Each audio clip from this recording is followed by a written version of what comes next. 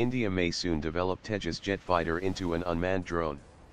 In what would break new ground, India has started work on developing an unmanned combat version of the homegrown light combat aircraft, LCA, with a task group being constituted to study how to convert the fighter for a futuristic role.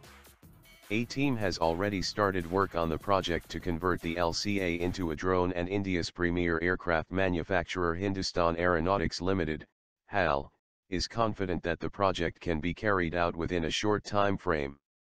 We have started an internal study on making an unmanned combat aerial vehicle, UCAV, on the Tejas platform. Besides, we are confident on coming up with an unmanned version of Chetak helicopter as well, HAL Chief T. Suvarna Raju told ET. The Air Force has already placed orders for 123 LCA fighters and HAL is targeting a gap of 200 fighters that the Air Force will face in coming years.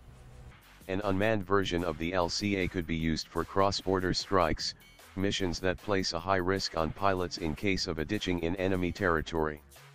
India is also working on a project named Aura to make a futuristic combat drone that would be powered by a modified version of the Kaveri engine.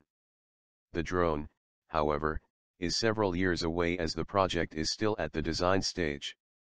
While unmanned LCA would be no match for a futuristic stealth drone, officials pointed that out converting a flying platform into an autonomous unit could be faster and cheaper short-term option. The US, for example, uses unmanned F-16 fighters for aerial target practice. Thank you for watching please like and subscribe.